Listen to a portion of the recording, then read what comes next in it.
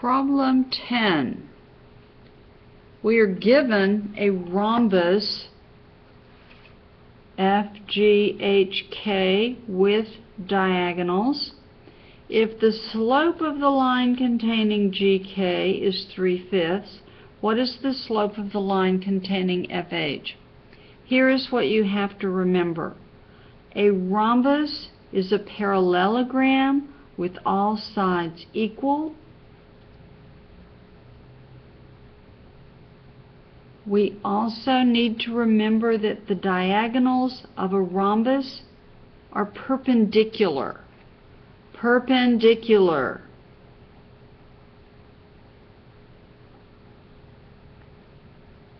That means they intersect at a 90 degree angle. In Algebra 1, you learned that the slope of perpendicular lines are negative reciprocals. So if we multiply the two slopes together, we end up with negative 1. If the slope of GK is 3 fifths,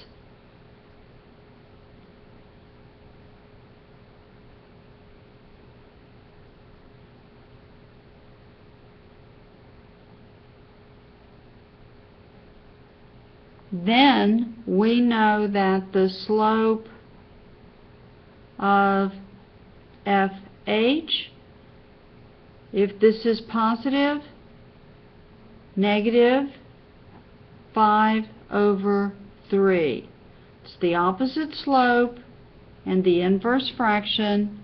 When we multiply together, we get negative 1. 3 times negative 5, negative 15, 5 times 3, positive 15, negative 15 over positive 15 multiplies together to negative 1. Problem 11. Another problem that is absolutely ideal for graph paper. That is the first hint. All day, every day. The endpoints of CD are negative 8, 6, and 2, 10. What are the coordinates of the midpoint? Get graph paper, use graph paper, get graph paper, use graph paper.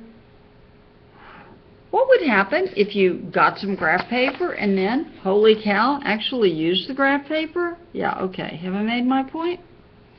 Okay, the endpoints of CD are negative 8, 6,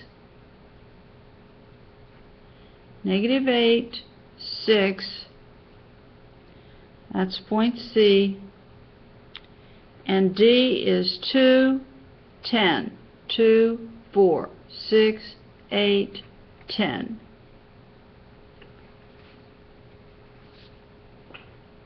D 2, 10. What we want to find here, my paper has dots on it. Here is C, here is D, C, D. We need to find the midpoint. There are two ways to do this.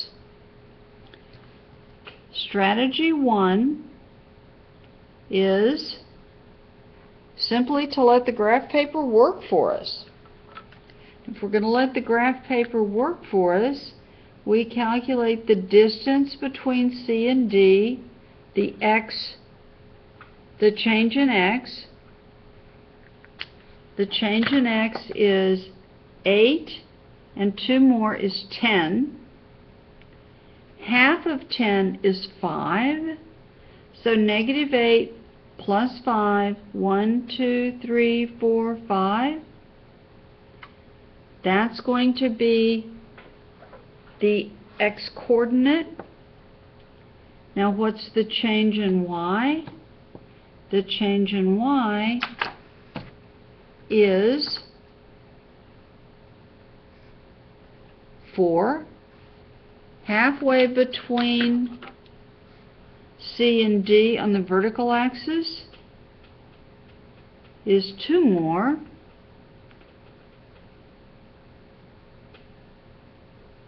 So from 6 we go up 2, or from 10 we go down 2. In either case, this is going to be the midpoint, and the coordinates of my midpoint are negative 1, negative 2, negative 3, plus 1, 2, 3, 4, 5, 6, 7, 8. Negative 3, positive 8. Now, is there a way that I can calculate that? I absolutely can. The algebra freaks among us are going to be delighted to know that there's a formula to calculate midpoint, and the formula is this. The average of the x-coordinates and the average of the y-coordinates. So let's do the problem that way.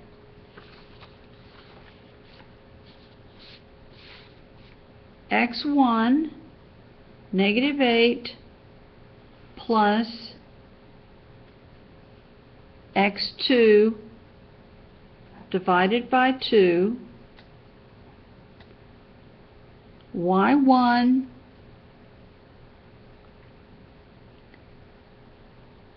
plus y2 divided by 2 the average of the x's and the average of the y's, negative 8 plus 2, is negative 6 divided by 2.